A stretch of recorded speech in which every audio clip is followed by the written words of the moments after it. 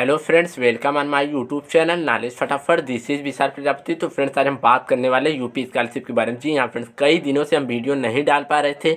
बहुत सारे छात्रों के इंस्टाग्राम पर कमेंट सेक्शन में आ रहे थे मैसेज कि सर हमारे अंदर ये प्रॉब्लम है, हमारे फॉर्म में ये प्रॉब्लम है। किसी का DW से वेरीफाई हो गया था, लेकिन फिर भी अभी करेक्शन नहीं हुआ, किसी का वेरीफाई ही नहीं हुआ है।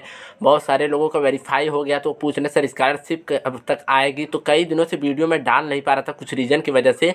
फ़िलहाल एक आध दो एक हफ़्ते तक अभी वीडियो नहीं आएगी तो मैंने सोचा क्यों ना इसके ऊपर एक वीडियो डाल दी जाए, आप लोगों के प्रॉब्लम सॉल्व कर दी जाए। तो फ्रेंड्स इस वीडियो में हम कंप्लीट बात करेंगे कि जिनका फॉर्म डी डब्ल्यू से अभी तक वेरीफाई नहीं हुआ है, उनका फॉर्म कब तक वेरीफाई हो जाएगा और जिनका फॉर्म वेरीफाई हो गया है, उनकी स्कॉलरशिप कब से आने लगेगी। साथ ही जिनका फॉर्म वेरीफाई हो गया, लेकिन करेक्शन नहीं हुआ, उसमें रोल नंबर इनरोलमेंट नंबर सब गलत बता रहे हैं, लेकिन DWO से वेरीफाई हो गया है तो उनको क्या करना चाहिए, पूरा डिटेल में इस वीडियो में हम कंप्लीट बात करेंगे। तो फ्रेंड्स वीडियो को स्टार्ट करने से पहले यार एक छोटी सी रिक्वेस्ट है, चैनल पर नए तो यार चैनल सब्सक्राइब करके वीडियो को फटाफट से लाइक कर दो। तो चलिए वीडियो को शुरू करते हैं।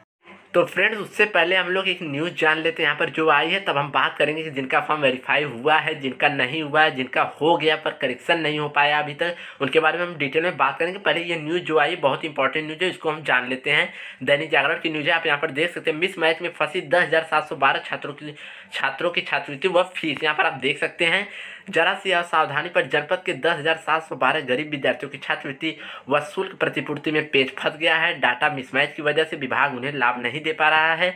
जिला पिछड़ा वर्ग कल्याण विभाग अधिकारी ने पात्र विद्यार्थियों को लाभ दिए जाने के लिए आखिरी मौका दिया है।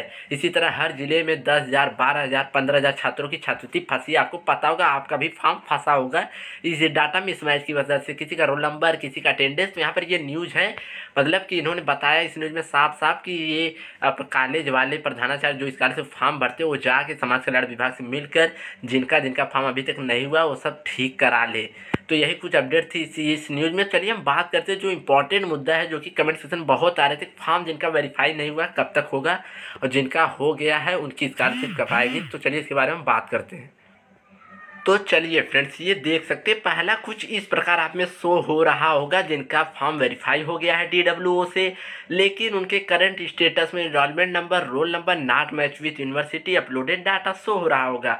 तो इनकी बात कर लेते हैं, जिनके फॉर्म में इस तरह दिखाई दे रहा है, आप भी देख लीजिए, आपके फॉर्म में ऐसा अगर होगा तो आपको बिल्कुल भी घबराने की बात नहीं है। मैंने कितनी बार बताया कि ये कॉमन प्रॉब्लम है, ये कॉलेज वाले से मिलिए कॉलेज वाले सॉल्व कर देंगे।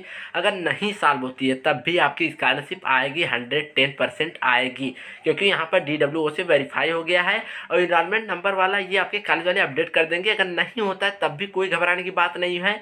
आप आराम से देखिए, आपकी स्कॉलरशिप पच्चीस मार्च से अगर जनरल ओबीसी होंगे तो उनकी स्कॉलरशिप पच्चीस मार्च से आना स्टार्ट हो जाएगी। अगर आपके फॉर्म में ऐसा कुछ होगा तो चलिए दूसरा फॉर्म हम देख लेते हैं जो प्रॉब्लम आ रही है बच्चों में। तो चलिए फ्रेंड देखिए, कुछ दूसरा फॉर्म इस प्रकार से आप में होगा। मैं कई सारी प्रॉब्लम जो सब में दिखाई दे रहा है, मैं आपको दिखा दे रहा हूँ, आप मैच करा लीजिए। यहाँ पर आप देखिए, चौथा डिस्ट्री वेरीफाई बाई डी से हो चुका है। लेकिन इनमें देखिए रोल नंबर नाट में database enrolment number high school की मार्कशीट का ये सब मिसमैच बता रहे इनमें दोनों प्रॉब्लम है। तो इनका भी सेम वही प्रोसेस भाई मतलब आपका वेरीफाई तो हो गया है, लेकिन आप एक बार अपने कॉलेज में चले जाइए, बोलिए, सर ऐसी ऐसी प्रॉब्लम है। कब तक अपडेट हो जाएगा तो आपको क्लियर बता देंगे कि कब तक अपडेट हो जाएगा। लेकिन आई थिंक जहाँ तक मेरी उम्मीद है, इससे मतलब गड़बड़ होने से कोई प्रॉब्लम नहीं, अपडेट हो जाएगा, नहीं होगा, तब भी आपका करो, देखिए वेरीफाई है तो इस कारण होगी तो आपकी आएगी भाई। अगर रिजेक्ट होना होता तो यहाँ पर रिजेक्ट कर देता। इसका मतलब ये स्टेटस आपका अपडेट हो जाएगा, एक दो दिन में, तीन दिन में, आप अपने कॉलेज से बात कर लीजिए। तो चलिए तीसरे फॉर्म की तरफ़ बढ़ते हैं कि इन सारे छात्रों के फॉर्म में क्या कुछ गड़बड़ी है। देखिए, तीसरे छात्र ऐसे हैं जिनमें ये देखिए कंप्लीट दिखाई दे रहा है फॉरवर्ड दिखाई, लेकिन डी डब्ल्यू एस वेरीफिकेशन अभी डैश दिखाई दे रहा है। तो बहुत सारे छात्र सोच रहे हैं कि, सर, सबका वेरीफाई हो गया, हमारा रिजेक्ट तो नहीं हो गया जो ब्लैंक दिखा रहा है। तो भाई देखिए, ये ब्लैंक का मतलब रिजेक्ट नहीं होता है। रिजेक्ट होगा तो रिजेक्ट लिखा हुआ आ जाएगा। यहाँ पर देखिए, अभी ये इनरोलमेंट नंबर अपडेट नहीं हुआ है और ना ही वेरीफाई हुआ अगर ब्लैंक है तो आप एकदम चिंता मत करिए कॉलेज में मिलिए, बोलिए, सर, हमारा डाटा अपडेट किए हैं कि नहीं किए हैं? अगर सभी छात्रों का हो गया तो फ़ौरन फ़ौरन अपने कॉलेज में जाइए, बात करिए सर हमारा कब तक होगा।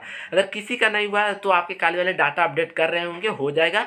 तो आई होप कि आप लोग समझ गए, अगर ब्लैंक है तो भाई देखिए, ना फॉर्म वेरीफाई हुआ है, न रिजेक्ट हुआ ये तीसरी प्रॉब्लम थी। बात कर लेते चौथी प्रॉब्लम के बारे में, जिनका फॉर्म वेरीफाई भी हो गया है, लेकिन उनमें कई सारी प्रॉब्लम दिखाई दे रही हैं।